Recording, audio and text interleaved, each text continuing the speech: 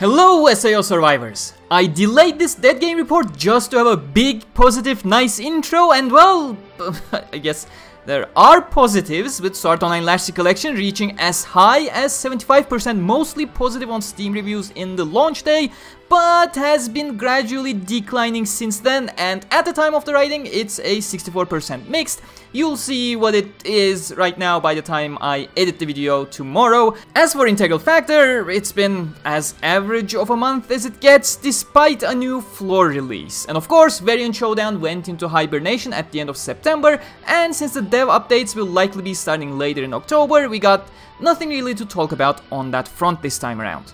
So welcome SAO survivors, this is Dead Game Report for September 2023, where we'll be looking at a couple of graphs without much excitement. No, I'm, I'm, I'm serious, these are the three main graphs we'll keep looking at for the next 10 or so minutes. The joys of having a collective business education of over 10 years by now, only to look at simple graphs. But you, you know what's more exciting than a bunch of graphs? A space fantasy RPG like Honkai Star Rail. They have been a regular sponsor of the channel the past couple of months and this time the adventure is coming to my preferred platform, the PlayStation 5, with the version 1.4 update also featuring data sync across all other platforms, PC and mobile respectively, allowing you to play wherever, whenever on your preferred device. Whether you're a new player getting ready to kick off on PlayStation or a seasoned player on PC or mobile going off to tackle the new Belobog story, for the duration of the next month, the two new limited 5-star characters joining the space epic are the Ice Cold Jingliu and the character duo Topaz and Numby.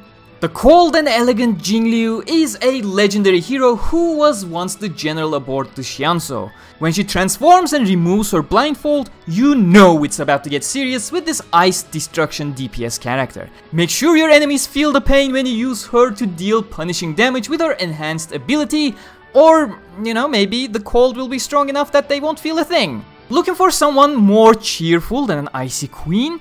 Topaz has you covered with her cute demeanor.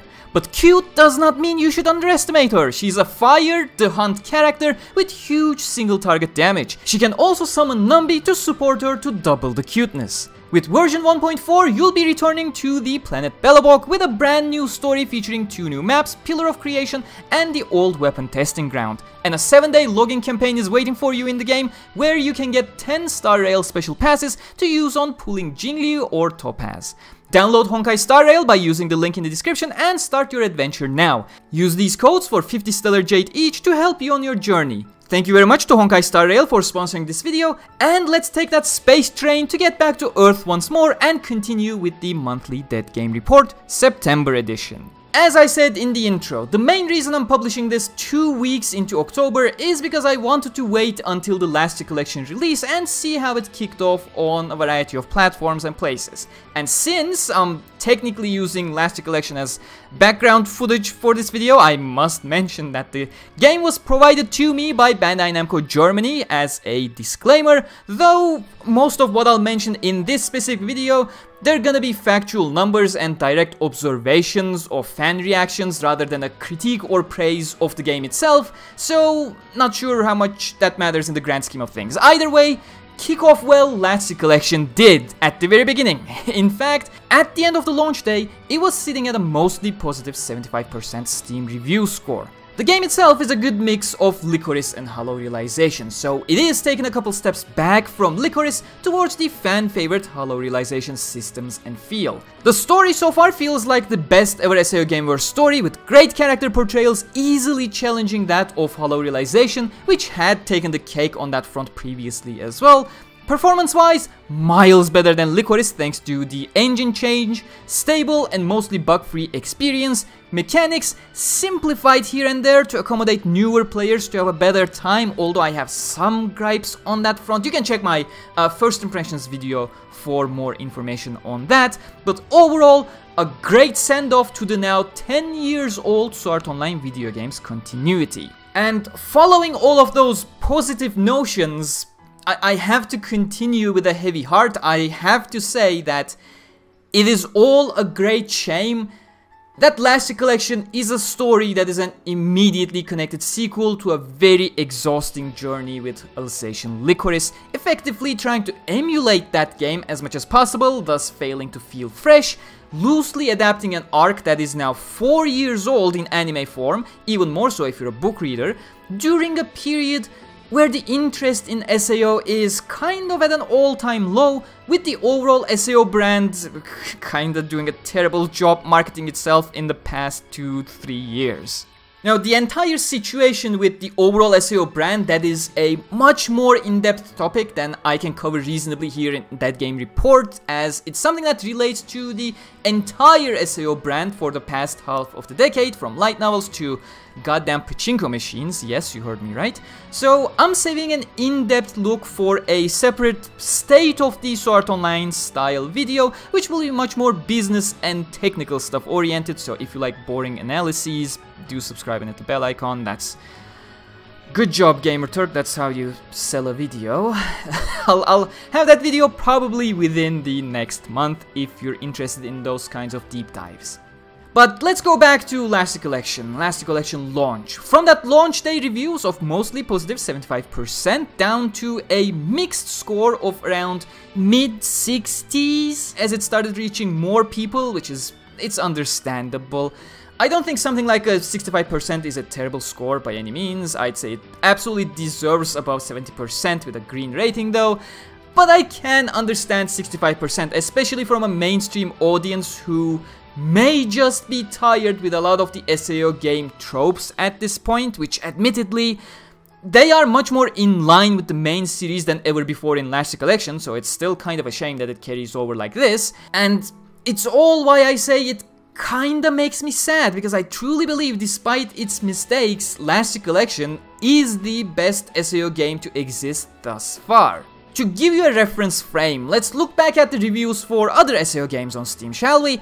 Hollow Fragment sits at a massive 80% very positive rating across over 1600 reviews, which is incredible. I'd imagine this is a combination of the game being a cheap one, as well as people also being more sympathetic towards it due to actually being an old game made for the PSP or rather PS Vita in the case of Hollow Fragment. And let's be real, Aincrad nostalgia will always exist, though if this was that State of SAO video I talked about earlier, I'd have additional things to say on this front. Similarly, Lost Song sits at an 80% very positive with just shy of 1600 reviews and Lost Song in its nature is a game that accommodates the western player base anyways with its action RPG approach. Hollow Realization currently sits at a 79% mostly positive with 5500 reviews. That is a massive accomplishment however you look at it, which is probably why it still sells at $49.99 despite being more than half a decade old.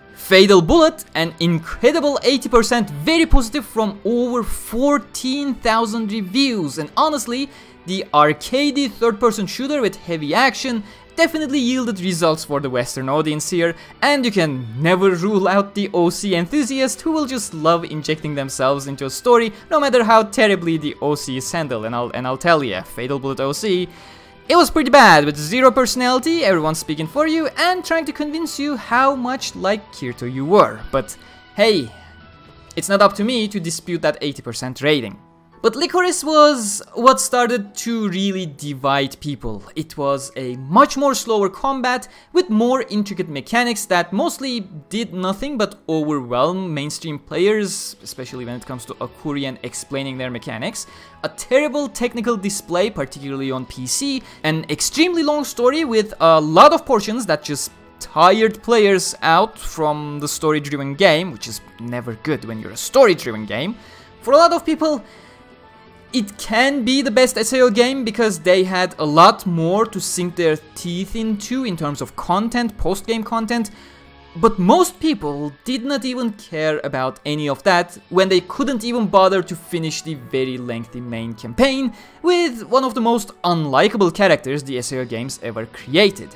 As such, Lycoris settled itself to a 61% mixed review across 4,700 reviews. But Lycoris did more than that and we're feeling the effects of that with Last Recollection.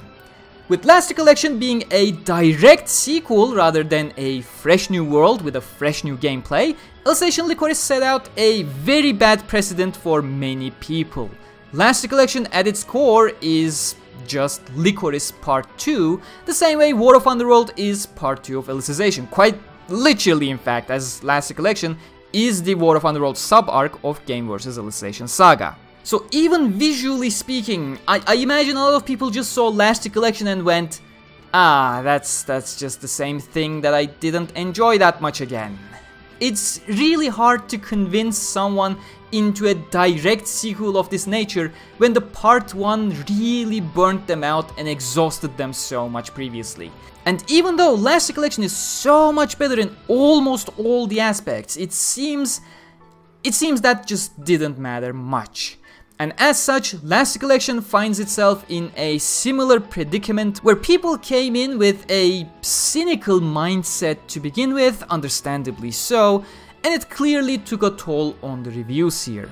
While that is mostly the western fanbase with the Steam reviews, the Japanese sentiment is not that far off either. Reportedly, Last Recollection had a terrible launch performance there, less than one third of Alicization Lycoris on PS4 and PS5 according to Game Data Library Twitter account who's sourcing Famitsu among other Japanese sources tracking physical sales only. I imagine digital is faring much better this time around, you know, it's three years after Lycoris so far, we now have PS5s out there with digital only versions, so physical is just losing prominence faster than ever on that front, but let's not act like the physical sales are not abysmal. And last but not least, on the topic of Last Recollection still, I was gonna mention the peak concurrent player counts on Steam, so how many people were playing the game and were online on Steam at any given time, but I get the feeling there's some wonky stuff going on with older data, so not sure how reliable the Lycoris launch data is in comparison to Last Recollection, but if the overall numbers are still accurate, it's basically painting the same picture as the Japanese physical sales numbers, with Last Recollection only having about less than a third of player interest compared to Alicization Lycoris. But as a minor injection here, PC players have a lot more reason to be skeptical towards the game compared to PlayStation or Xbox players, considering the Lycoris launch, so that's something to keep in mind when trying to interpret this data. So, I'll wrap up the Last Recollection segment by highlighting this once more.